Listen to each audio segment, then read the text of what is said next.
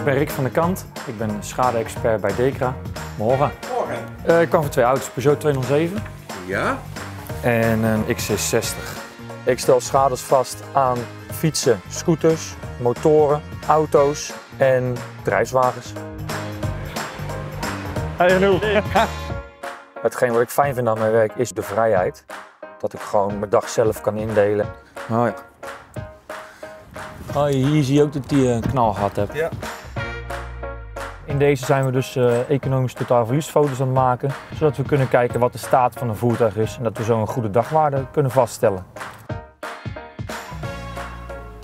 Goedemiddag, u spreekt met Rick van de Kant, schade-expert bij Dekra.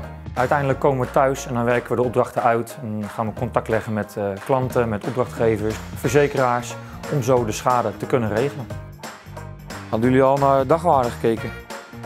Het allerleukste aan mijn vak vind ik dat geen één dag hetzelfde is. Je weet nooit wat de volgende dag je te wachten staat. We hebben te maken met volledig uitgebrande voertuigen. Of dat je een dag hebt met heel veel fietsen, met scooters, aanhangwagens, caravans, campers. Het kan alle kanten op gaan. Daarom kijk ik elke dag uit naar de volgende dag.